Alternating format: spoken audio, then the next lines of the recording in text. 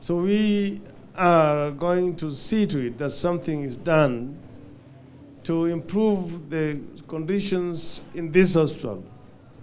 More importantly, I'm going to direct the Ministry of Medical Services to carry out an audit of this hospital and um, make recommendations for the overhaul in general.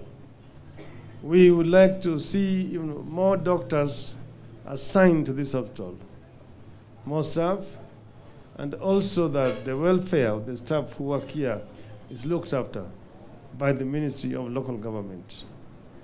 This is a very important facility for this country because this is here our mothers come to de deliver. Uh, they give, therefore, birth to life. Here, life begins in this hospital here. So we must, as a society, look after this hospital very well. This hospital requires much more attention by the government.